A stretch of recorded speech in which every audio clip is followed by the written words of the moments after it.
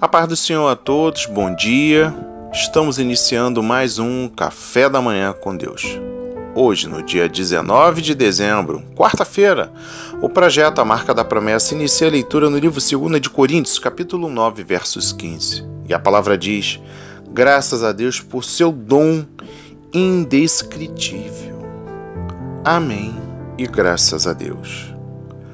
O presente este é o tema da meditação desta manhã.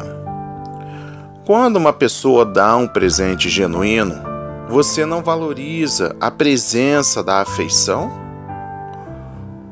O suéter tricotado à mão, o álbum de fotos do verão passado, o poema personalizado, o livro do Lucado.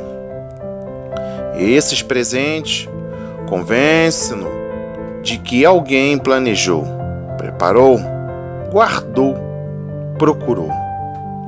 Decisão de última hora? Não.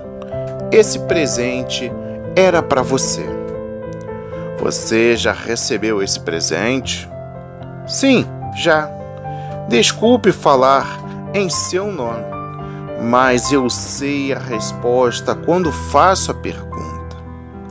Você recebeu um presente personalizado feito para você? Hoje, na cidade de Davi, lhe nasceu o Salvador, que é Cristo o Senhor.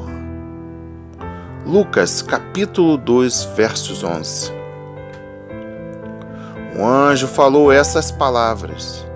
Os pastores as ouviram primeiro mas o que o anjo disse a eles?